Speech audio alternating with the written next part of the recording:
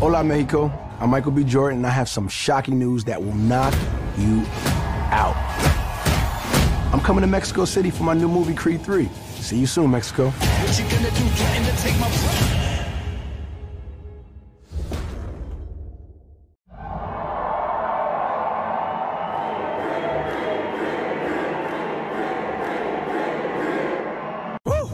Adonis Creed. You don't remember me, huh? What happened with you two? We was like brothers.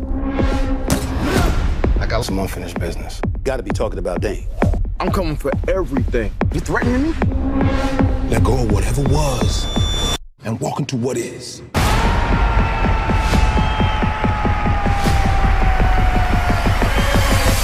Creed 3, rated PG 13, only in theaters March 3rd. How are you feeling about this compared to Creed 1 and 2? Uh, I feel great about it, man. Honestly, it was the biggest challenge uh, so far, you know, um, of my career to kind of be able to be in front of the camera and behind the camera. I think we evolved the story a lot.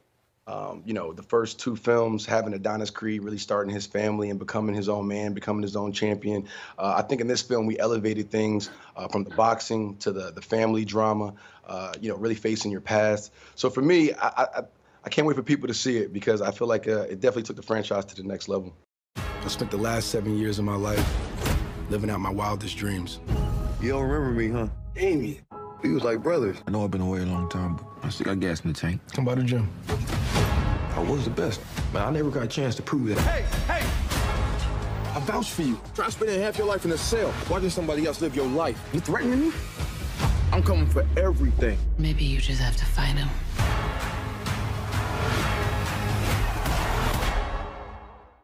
I've seen, you know, the Rockies, I've seen the Creeds, mm-hmm. but what was it? This thing was like, it's insane. You actually see skin flapping and blah, I go, how did you change the game again? We were just, you know, I think I got, it was a gift and a curse. You know, there's been, you know, eight other movies before me, you know, and we've shot, you can sh- shoot a boxing match so many different ways.